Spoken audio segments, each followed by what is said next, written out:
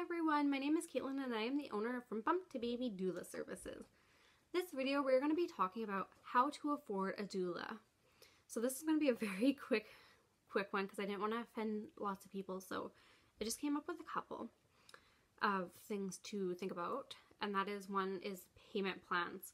I offer them and I'm sure a lot of other doulas do as well. You definitely aren't expected to pay it all up front. Take your time, pay it over a couple months, couple weeks, couple paychecks, whatever. Most doulas are pretty easygoing with that, so definitely check into that.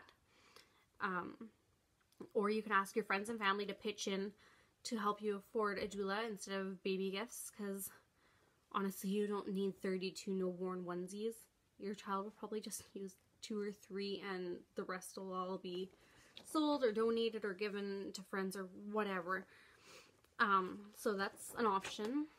Uh, another one is to ask if the price is negotiable.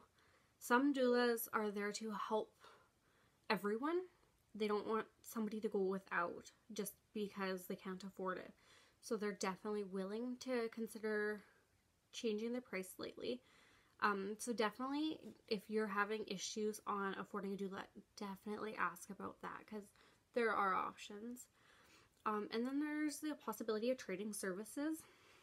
So that is quite common in the service world where like um, somebody that cuts hair, cuts hair out of their home will trade services with somebody who does nails out of their home or um, like just stuff like that. Like if you do something that maybe a doula would be interested in, she might consider swapping services or doing like a reduced price with the service.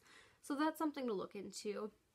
And then of course there's the whole you can sell stuff you don't need or you know just make sure you aren't buying stuff that you don't need. Like uh, a lot of people don't use um, well lots of people don't use change tables. Lots do. Uh, some don't use diaper pails. Some people don't use diapers themselves. Some use cloth diapers. So just think about what you do need and what you don't need and consider changing in that way. Skip a cup of coffee in the morning at Tim's or Starbucks if you have to you know there, there are ways around it, but definitely, definitely, definitely talk to your doula if that is something you are interested in and are having issues with. If you guys have any other questions, feel free to drop them below. Thank you.